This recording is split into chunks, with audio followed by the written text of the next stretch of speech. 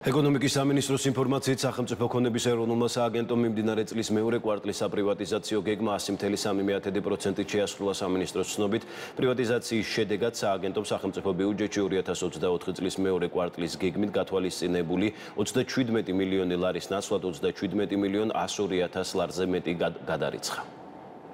პრივატიზაციის პროცესი გრძელდება, ქონების ეროვნული სააგენტო მუშაობს, ახალი ობიექტები მზადდება, ბიზნეს შეეთავაზება წლის ბოლომდე კიდევ მრავალი ობიექტი და შესაბამისად ყველას ექნება შესაძლებლობა მიიღოს მონაწილეობა პრივატიზაციის პროცესში ყოველგვარი დაბრკოლების გარეშე.